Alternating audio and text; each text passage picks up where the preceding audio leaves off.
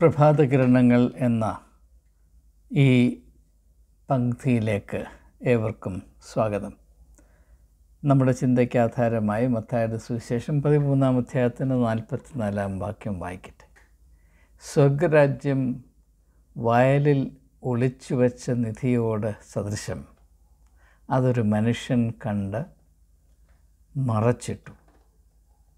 തന്റെ സന്തോഷത്താൽ ചെന്ന് തനിക്കുള്ളതൊക്കെയും വിറ്റ് ആ വയൽ വാങ്ങി. നമ്മുടെ ഇന്നത്തെ ചിന്ത ഒരു ചെറിയ ചോദ്യത്തോടു കൂടെ ആരംഭിക്കുന്നതാകും ഉചിതം. നമുക്ക് യഥാർത്ഥത്തിൽ സ്വർഗത്തിൽ പോകുവാൻ താല്പര്യമുണ്ടോ? നമുക്ക് നമ്മോട് തന്നെ ഒന്ന് ചോദിച്ചു നോക്കാം. സ്വർഗത്തിൽ പോകാനായിട്ട് കാത്തിരിക്കുന്നു അല്ലെങ്കിൽ കർത്താവായ യേശു ക്രിസ്തുവിൽ കൂടെ നാം നിത്യതയുടെ അവകാശികളാണ്. അവന്റെ കൂടെ നാൾ അവന്റെ കൂടെ നാം അനന്തനാൾ വാഴും. നാം കർത്താവിൽ നിദ്ര പ്രാപിക്കുമെന്നൊക്കെ പറയുമെങ്കിലും യഥാർത്ഥത്തിൽ സ്വർഗത്തിൽ പോകുവാനോ അല്ലെങ്കിൽ നിത്യജീവൻ പ്രാപിപ്പാനോ നമുക്ക് താല്പര്യമുണ്ടോ ഇല്ലയോ? അല്ലെങ്കിൽ താല്പര്യമുണ്ടോ ഇല്ലയോ എന്നറിയാൻ വല്ല മാർഗവുമുണ്ട്? മാർഗമുണ്ട് ആ മാർഗമാണ് ഞാൻ പറയാൻ പോകുക ഞാൻ വിശ്വസിക്കുന്നത് നിങ്ങൾ നിങ്ങളുടെ ജീവന്റെയും ജീവിതത്തിന്റെയും വ്യക്തിത്വത്തിന്റെയും ആകെ തുക കൊണ്ട് അദമ്യമായി ആഗ്രഹിക്കുന്നത് എന്തും നിങ്ങൾക്ക് കിട്ടും. ഞാൻ ഒന്നുകൂടെ ആവർത്തിക്കാൻ പോവുകയാണ്. നിങ്ങളുടെ ജീവൻ കൊണ്ടും ജീവിതം കൊണ്ടും വ്യക്തിത്വത്തിന്റെ ആകത്തുക കൊണ്ടും നിങ്ങൾ അദമ്യമായി ആഗ്രഹിക്കുന്നത് എന്തും നിങ്ങൾക്ക് കിട്ടും. അപ്പോൾ നാം നിത്യജീവൻ അവകാശമാക്കുമോ ഇല്ലയോ? ഇപ്പം പത്താല സുശേഷം പത്തൊമ്പതാം അധ്യായത്തിൽ ധനികനായ ഒരു യുവാവ് യേശുവിന്റെ അടുത്ത് ചെന്ന് ചോദിക്കുന്നു ഞാൻ ഗുരു ഞാൻ നീ നല്ലവനാണ്.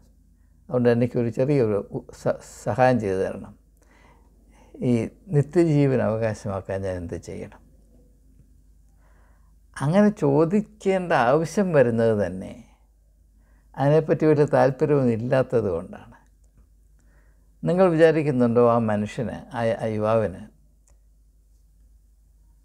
നിത്യ ജീവൻ അല്ലെങ്കിൽ സ്വർഗരാജ്യം പ്രാപിപ്പാൻ ഇതാണ് മാർഗം? എന്ന് പറഞ്ഞാൽ അവനത് അനുവർത്തിക്കുമെന്ന് നിങ്ങൾ വിചാരിക്കുന്നുണ്ടോ? യഥാർത്ഥത്തിൽ താല്പര്യമുള്ളവർക്ക് അങ്ങോട്ട് എങ്ങനെയാണ് പോകേണ്ടത് എങ്ങനെയാണ് പ്രാപിക്കേണ്ടതെന്ന് അവിടെ ഇവിടെയും പോയി ചോദിക്കേണ്ട കാര്യമൊന്നുമില്ല. അവരുടെ ഉള്ളിൽ അവർക്കറിയാം. അപ്പം അതുകൊണ്ട് നാം യഥാർത്ഥത്തിൽ നിത്യജീവൻ അവകാശമാക്കുമോ ഇല്ലയോ എന്നറിയേണ്ടതിന് ഒറ്റ കാര്യം മാത്രം നോക്കിയാൽ മതി. നാം എത്ര ആഴത്തിൽ ആവേശത്തിൽ നമ്മുടെ ശരീരത്തിന്റെ ഓരോ കണിക കൊണ്ടും ആ ഒരു ലക്ഷ്യപ്രാപ്തിയെ കാക്ഷിക്കുന്നു ആഗ്രഹിക്കുന്നു എന്ന് മാത്രം നോക്കിയാൽ മതി. പലരും വിചാരിച്ചിരിക്കുന്നത് ദൈവരാജ്യം എന്ന് പറയാം അല്ലെങ്കിൽ മരണാനന്ദ ജീവിതം നിത്യത അല്ലെങ്കിൽ ദൈവരാജ്യം. അല്ല അല്ലെങ്കിൽ യേശുവിനോടുള്ള അനന്തമായ വാഴ്ച. ഇതൊക്കെ പല വിധേനയും കിട്ടിപ്പോകും. എനിക്കിപ്പോൾ അതിനെപ്പറ്റി ചിന്തിക്കാനും ആഗ്രഹിക്കാനോ ഒന്നും സമയമല്ല. എനിക്ക് മറ്റു പല പണികളുമുണ്ട്. അത് കിട്ടിയാലായി ഇല്ലെങ്കിലായി കിട്ടിയാൽ കൊള്ളാം.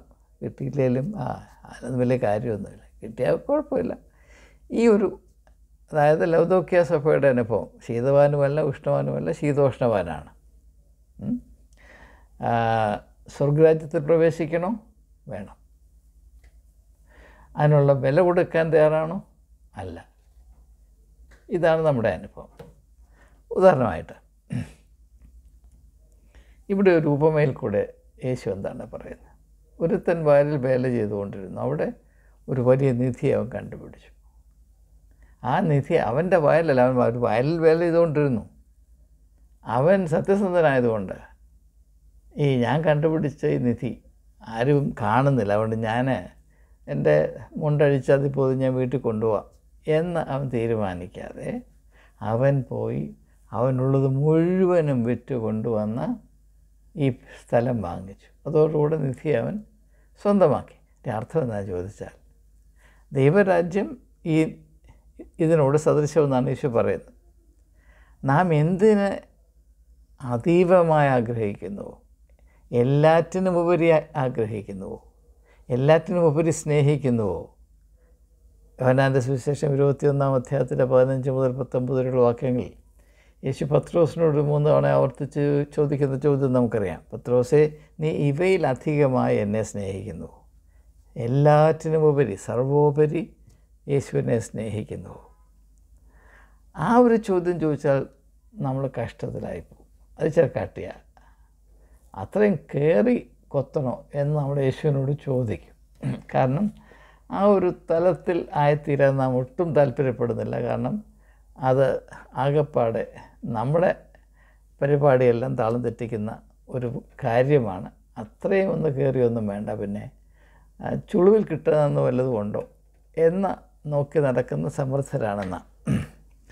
ഇന്ന് ഒരു വളരെ പ്രസിദ്ധമായ ഒരു വലിയ പള്ളിയുടെ ചുമതലയുള്ള ഒരു പുരോഹിതൻ എന്നെ വിളിച്ചു. അദ്ദേഹം പറഞ്ഞു വചന ശുശ്രൂഷ വചന ശുശ്രൂഷ.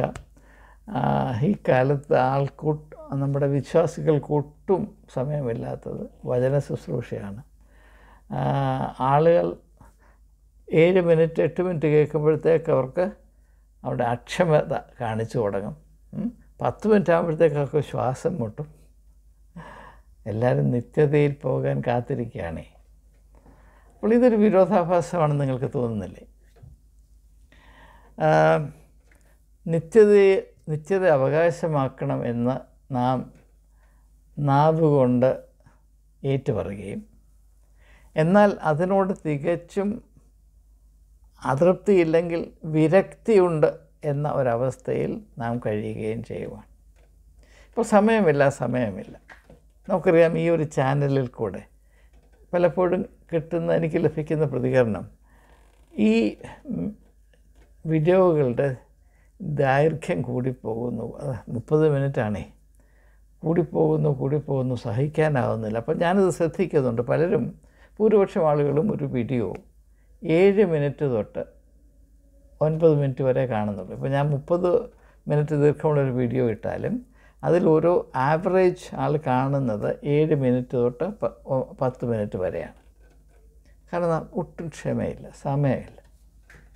ബാക്കി എല്ലാത്തിനും സമയമുണ്ട്. കളർ പിടിക്കാൻ സമയമുണ്ട് ചീട്ട് കളിക്കാൻ സമയമുണ്ട് ഗോസിപ്പിന് സമയമുണ്ട് ടെലിവിഷന്റെ മുമ്പിലിരുന്ന് അർത്ഥശൂന്യമായ കാര്യങ്ങൾ കാണാൻ സമയമുണ്ട്. കളി കാണാൻ സമയമുണ്ട് കാര്യം കാണാൻ സമയമുണ്ട് ബോറടിക്കാൻ സമയമുണ്ട് ഡിപ്രഷനിലേക്ക് പോകാൻ സമയമുണ്ട്. പക്ഷേ ഞാൻ ഏറ്റവും അധികം ആഗ്രഹിക്കുന്നു എന്ന് ധരിച്ചിരിക്കുന്ന നിത്യത സംബന്ധമായ കാര്യങ്ങളെപ്പറ്റി കേൾക്കാൻ പോലും എനിക്ക് സമയമില്ല എന്ന് പറയുമ്പോൾ യഥാർത്ഥത്തിൽ നാം എങ്ങോട്ട് പോകാനാണ് താല്പര്യപ്പെട്ടിരിക്കുന്നത് എന്ന് നമുക്ക് മനസ്സിലാകാവുന്നതേ ഉള്ളൂ. യേശു പറഞ്ഞു നിങ്ങളുടെ നിധി എവിടെയാണ്? അവിടെ നിങ്ങളുടെ ഹൃദയവും ഇരിക്കും. ഇപ്പം നിത്യജീവനാണ് നിങ്ങളുടെ നിധി. നിധി എന്ന് പറഞ്ഞാൽ നിധി എന്ന് പറഞ്ഞാൽ നമ്മൾ ഏറ്റവും കാംക്ഷിക്കുന്ന കാര്യം. നിധി. ഇപ്പോൾ ലോട്ടറി അടിക്കണം. ടിക്കറ്റ് വാങ്ങിക്കുന്നു. ആ വാങ്ങിക്കുന്ന കഴിഞ്ഞ വാങ്ങിച്ചു കഴിഞ്ഞ കഴിയുന്ന നിമിഷം മുതൽ മനസ്സതിലേക്കാണ് അടിച്ചിരുന്നെങ്കിൽ അടിച്ചിരുന്നു ഈ തവണ ദൈവമേ എനിക്ക് ഈ തവണ അടിക്കണേ. അത് രാത്രിയിലും പകലും ഇങ്ങനെ. അപ്പോൾ അതിലേക്കാണ് നിങ്ങളുടെ നിധി എവിടെ ഇരിക്കുന്നു? അവിടെ നിങ്ങളുടെ ഹൃദയവും ഇരിക്കും. അപ്പോൾ ഈ ഒരു കാര്യം വന്ന് വരുമ്പോൾ നമ്മുടെ എല്ലാവരുടെയും താല്പര്യം സ്വർഗത്തിൽ പോകാനാണ് നിത്യതയിൽ പ്രവേശിക്കാനാണ് മരണാനന്ദ ജീവിതം യേശുവിന്റെ കൂടെ വാഴാനാണ്. പക്ഷേ ആ കാര്യമൊന്നും പറഞ്ഞ് ഞങ്ങളെ ബോറടിപ്പിക്കുക ഞങ്ങൾക്ക് സമയമില്ല എന്നൊരു അതെനിക്ക് മനസ്സിലാക്കാൻ വയ്യാത്തതുകൊണ്ട് ഞാൻ ചോദിക്കാം. ഇപ്പോൾ നമുക്കിത് മനസ്സിലാകുന്നതിന് വേണ്ടി ഒരു ഉദാഹരണം ഉദാഹരണത്തിൽ കൂടെ ചിന്തിക്കുമ്പോൾ കുറച്ചുകൂടെ വ്യക്തമാകും.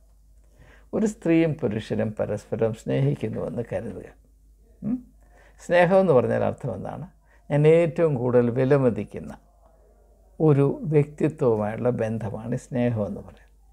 സ്നേഹത്തിന്റെ ആ ഒരു ഉദ്ദേശം തന്നെ വില വർദ്ധിപ്പിക്കുക എന്നുള്ളതാണെന്ന് പലരും മനസ്സിലാക്കാൻ കൂട്ടാക്കാത്തൊരു ആത്മീയ സത്യമാണ്.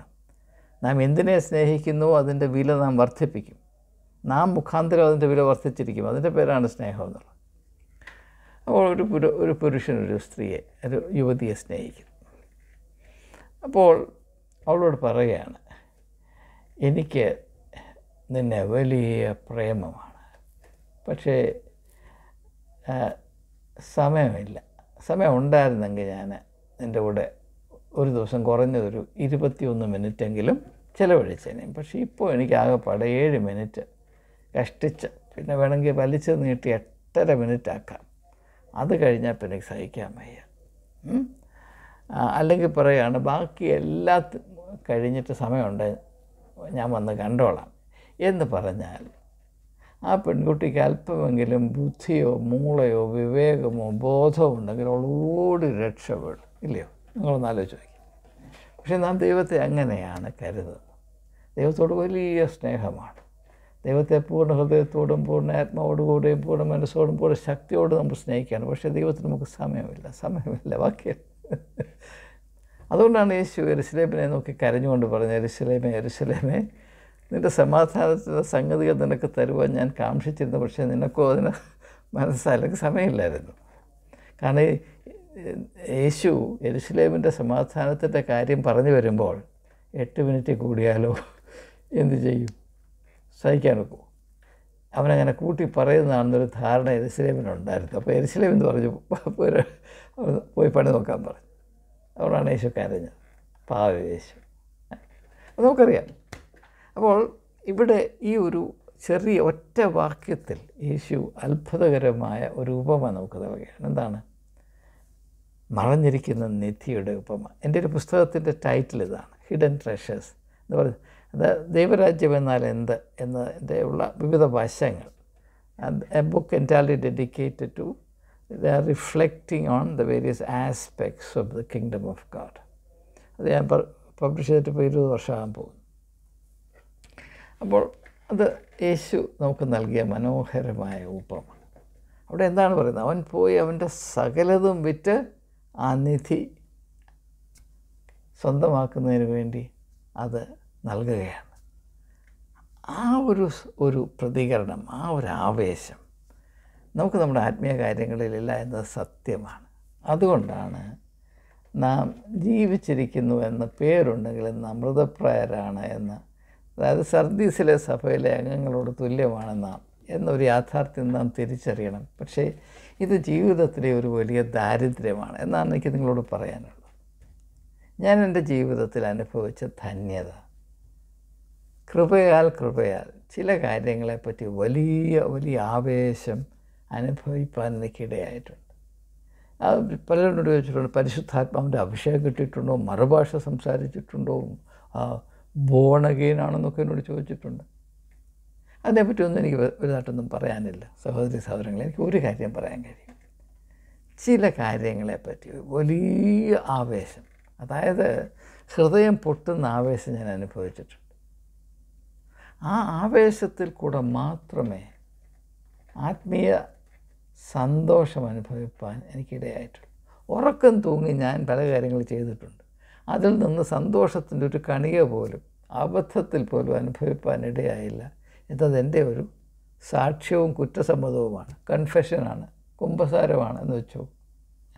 എന്നാൽ കൃപയാൽ വലിയ സന്തോഷം എന്റെ ജീവിതത്തിൽ അനുഭവിക്കാൻ ഇടയായിട്ടുണ്ട്. എപ്പോഴാണത്?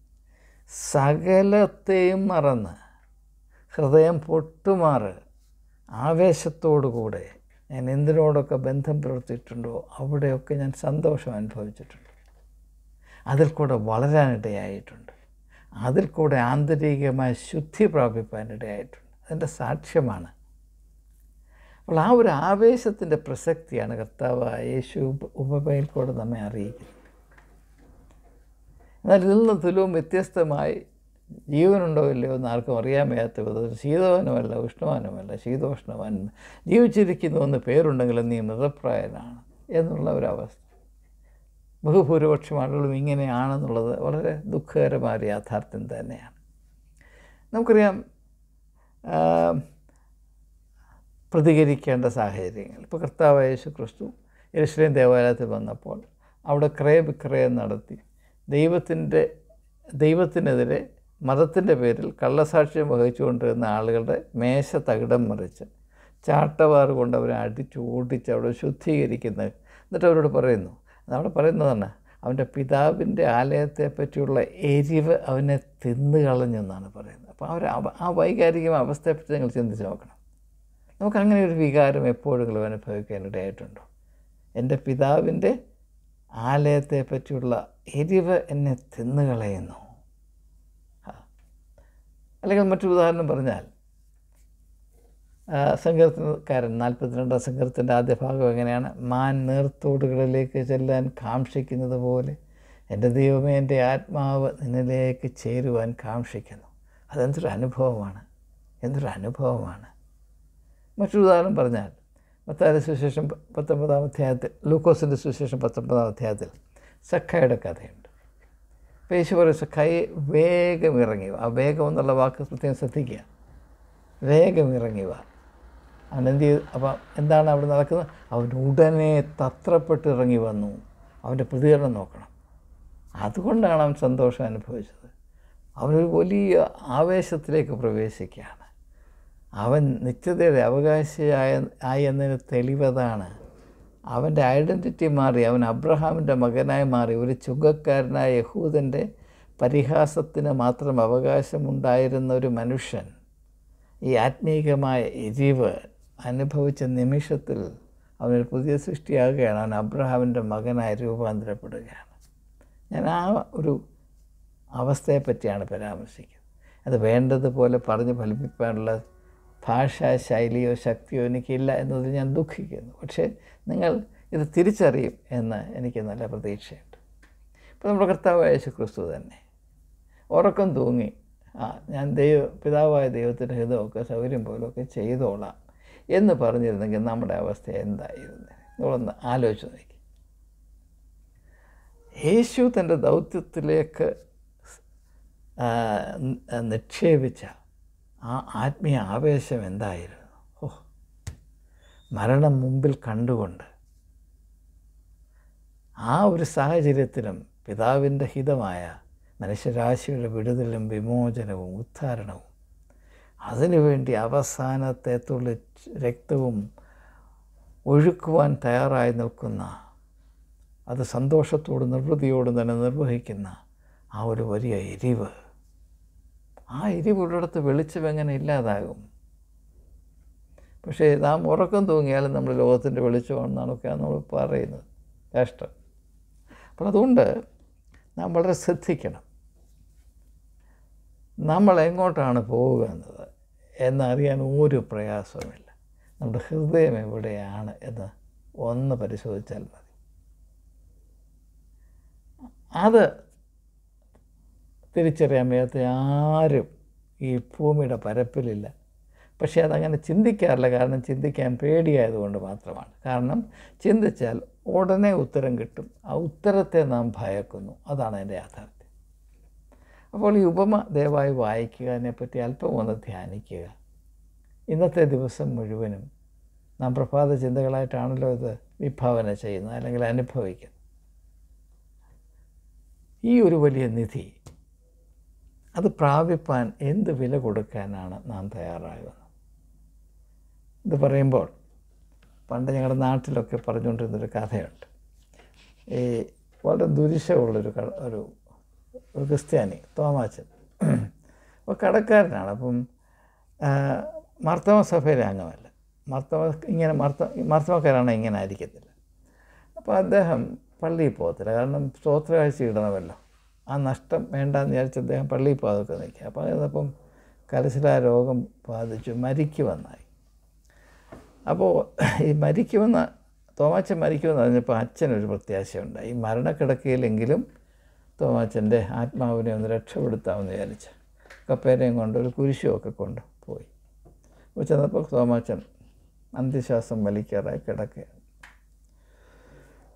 അപ്പോൾ വലിയ പ്രസംഗമൊന്നും നടത്താൻ അവിടെ സാഹചര്യമില്ലെന്ന് മനസ്സിലാക്കിയ അച്ഛൻ ഈ കുരിശ് ഇങ്ങനെ തോമാച്ചന്റെ മുമ്പിൽ ഇങ്ങനെ എടുത്ത് പിടിച്ചു. അതെങ്കിലും കണ്ട് തോമാച്ചന്റെ ഈ കല്ല് പോലത്തെ ഹൃദയം ഒന്ന് ഉരുകുമോ എന്നുള്ള പ്രതീക്ഷയിലാണ്. അപ്പോൾ തോമാച്ചൻ നന്നേ അത് ശ്രദ്ധിച്ചു ക്രൂദ്ധിച്ചൊന്ന് നോക്കി. എന്നിട്ട് പറഞ്ഞു ബലഹീനമായ കൈ ഉയർത്തിയിട്ട് പറഞ്ഞു. അപ്പോൾ അച്ഛൻ സന്തോഷം പ്രതീക്ഷ പ്രതീക്ഷയുണ്ടെന്ന് അച്ഛൻ കപ്പേരോട് പറഞ്ഞു കപ്പ്യാരെ ഫലിച്ചു. തൃത്വത്തിൽ വിശ്വസിക്കുന്നുവെന്ന് തോമാച്ചൻ പറയുന്നു.